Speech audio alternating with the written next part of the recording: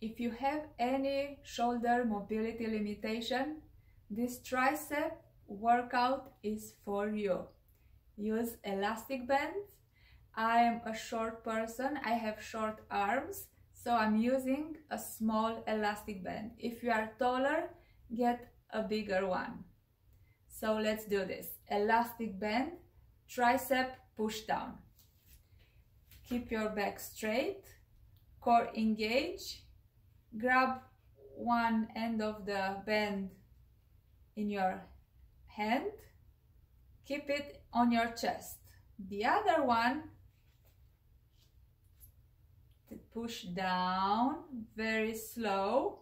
I want you to feel the strength in your bicep. Pause and come back 90 degrees. We don't go higher, we stop 90 degrees and go down, stop, few seconds and come back. Again, back straight. I don't want to see shoulders in front or shoulders close to your ear. Shoulders down and back. Breathe. We work on our triceps without any weight, any dumbbell.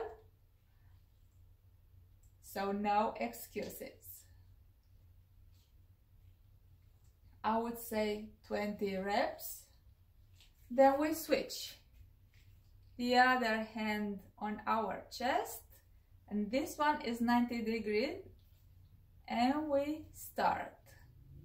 If you think you don't feel the strength in your tricep, make this elastic band shorter and push down, core tight.